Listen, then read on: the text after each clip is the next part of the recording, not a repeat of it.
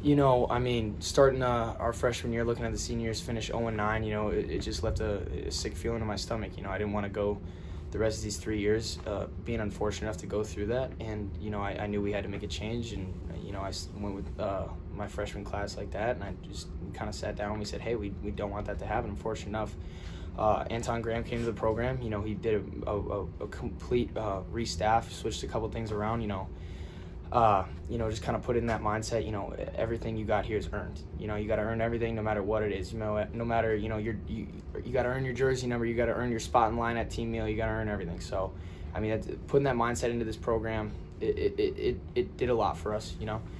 Uh, and, you know, where it has, where it's at now, I couldn't ask for a better opportunity than we're at now. You know, uh, we've just built these past. It feels like these past, you know, four years have been kind of building up to this year, in my opinion. You know, us as uh, seniors, watching, you know, the growth of the the program from day one to where we are now. It's it's been it's been amazing.